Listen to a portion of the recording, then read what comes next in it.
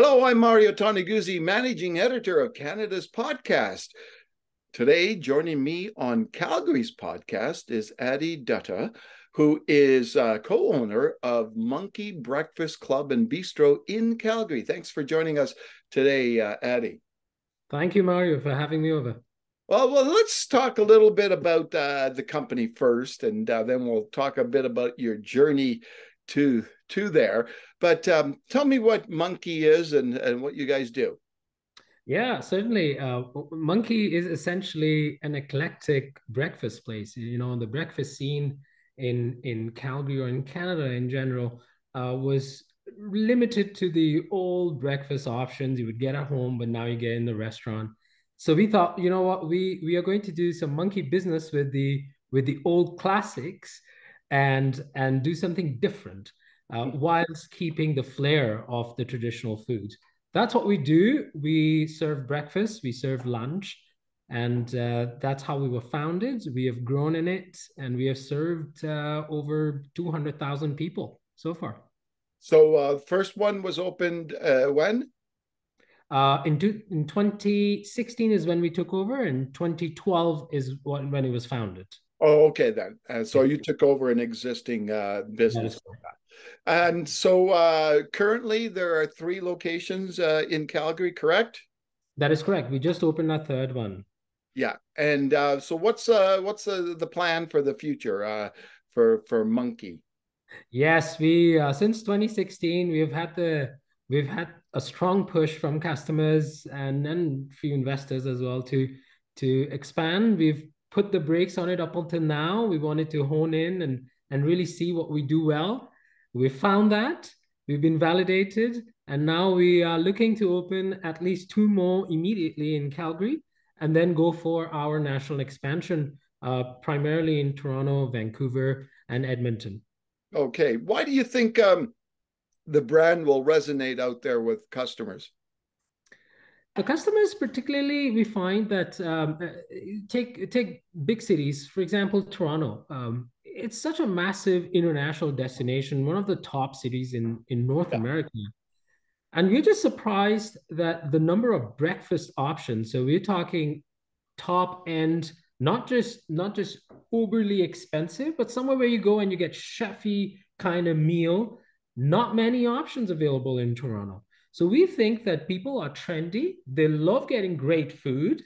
They want they want to feel going for breakfast as if they're going for dinner. Yeah. And that's why we think we can give that atmosphere to them. We can give them the food and we can give them the service. Yeah. Breakfast has sure changed over years, hasn't it? Right, uh, from the uh, the standard, uh, you know, uh, uh, two eggs and uh, toast and uh, a couple of slices of bacon. certainly, certainly. I mean, uh, I sometimes get that too, but I tell you, after eating that couple times, I do want to try something else. And s- suddenly, you realize that breakfast options are as elegant and as nice looking as dinner options. So why not? Yeah, exactly. Yeah. So tell me how you got here. Uh, you know, as a co-owner of this company, like, uh, talk a little bit about your journey, Adi. Yeah, a long journey. Uh, I, I, I was born and raised in India, and I came to Canada as an international student. I went to McGill University for my engineering degree in Montreal. Yeah. Uh, Montreal set a tone for what a city with many, many, in fact, most number of restaurants would look like. Yeah. I come from a from a family that's fond of food. Um, I have my sister lingering around today. She's visiting us from Chicago, and I tell you, the first conversation uh, when she landed today was about food. uh, so, so food was was important. As an engineer, I thought that I I would that would be my professional outlook, and and set the tone for the rest of my life. But that wasn't to be. I ended up becoming a business uh, management consultant with Deloitte and over years, I realized that after touching many industries, the one industry I really never worked in was food, food industry. So me and my university buddy, uh, we quit our jobs. He's he was an investment banker, and we opened up a food truck. And that food truck just did super well. It was it was gourmet street food from Germany that we were serving And Calgary, Calgarians, we have a strong uh, rooted community from Germany, Poland, Ukraine. So we thought that this would resonate well with them, and it did. Uh, we expanded that to two food trucks until the city changed the bylaws.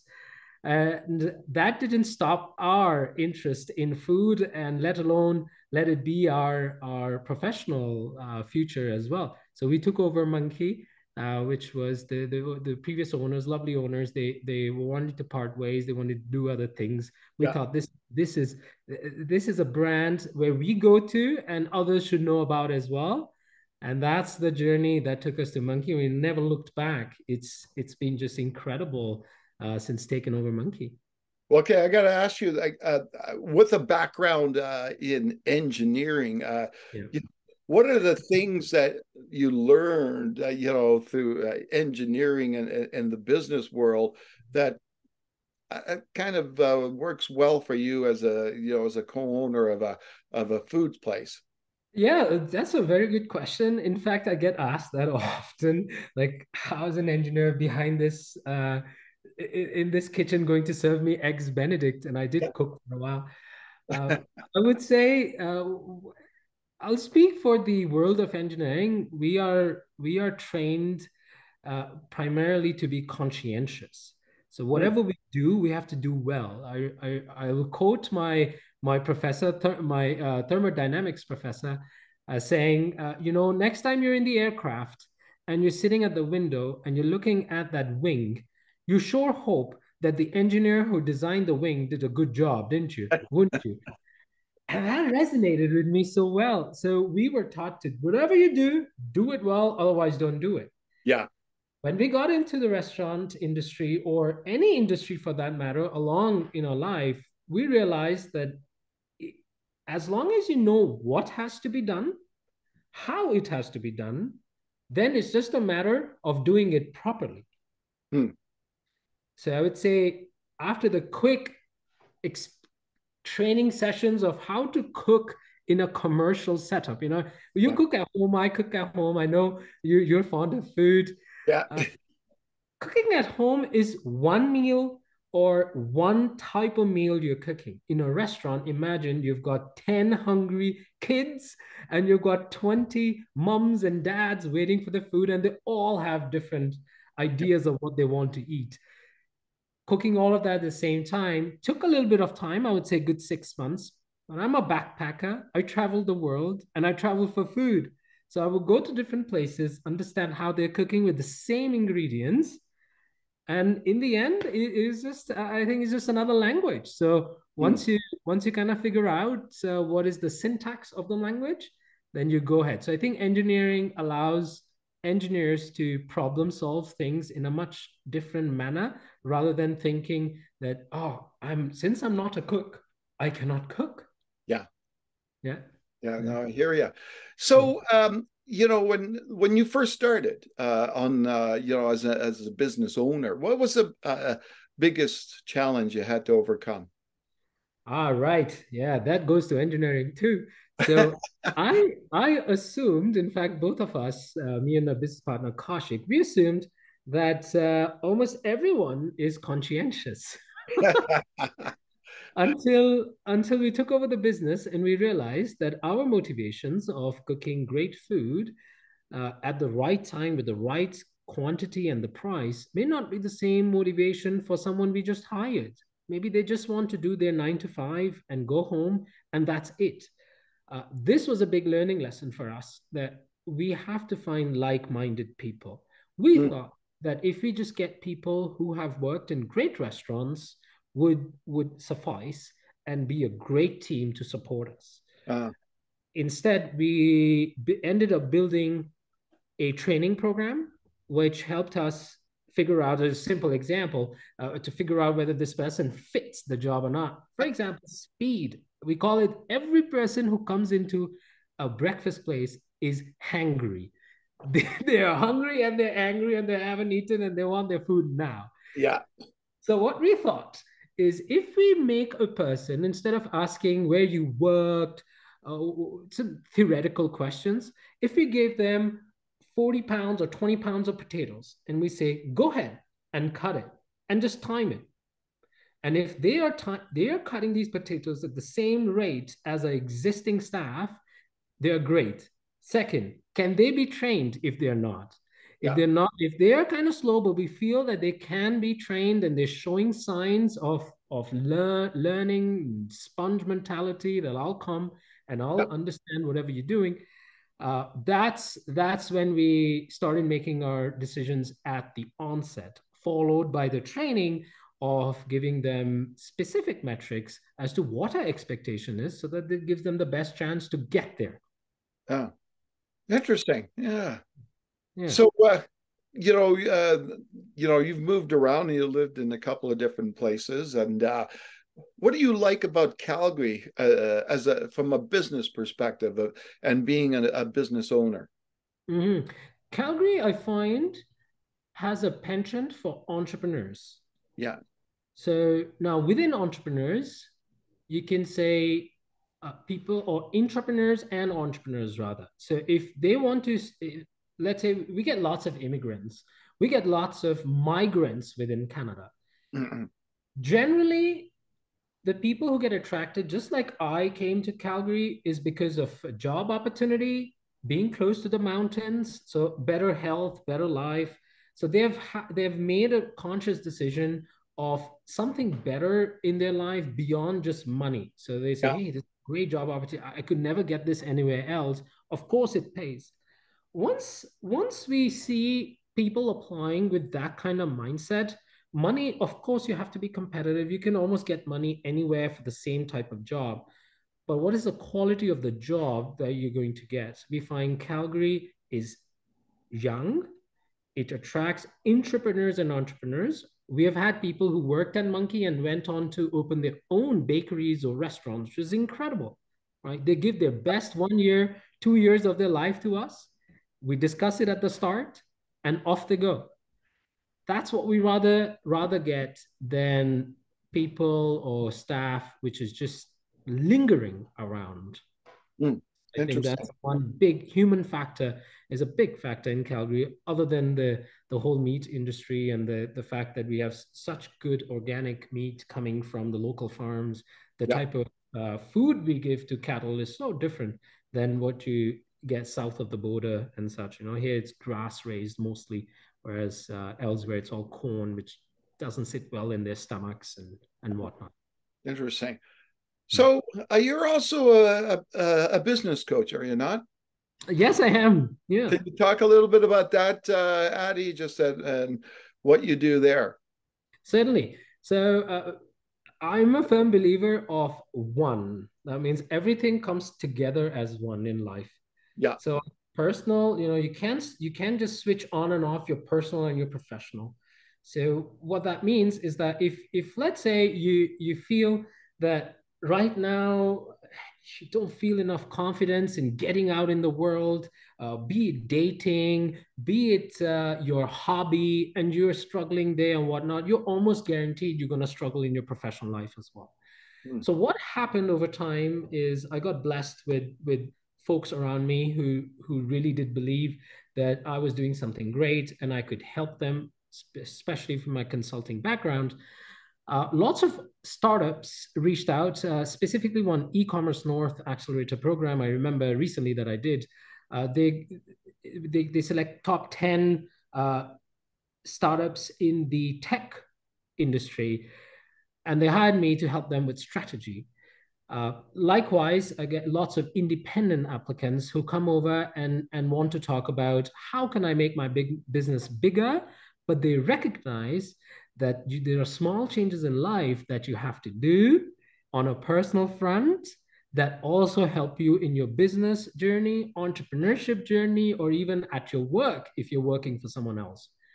This kind of mentality, I don't think exists as much as it should and the fact that that's the kind of service I offer, uh, I've been blessed for people to to come over and, and, and seek that advice that how can I just be a better person overall and manage my family, my work together. Okay, so uh, you know, if, if, you had a, a young person come up to you uh, seeking advice, Uh, you know, they want they had an idea, they they want to be an entrepreneur. What would you tell them? The first question is why? Why do you want to do what you're pitching me to do? Is there an is there a right answer? Uh, the right answer remains in them. Yeah. So the whole journey, so for example, the next two, three sessions will be to uncover whether your internal answer that you truly believe, is it the same that's coming out of your mouth? Mm. And I'll give you an example. Recently, I had the chance of working with a fantastic lady. She started, uh, she she did a um, a startup, and she wanted to change the world through the product. Well, it all turned out that the reason why she was doing that was to give a better financial life for her parents. Uh-huh.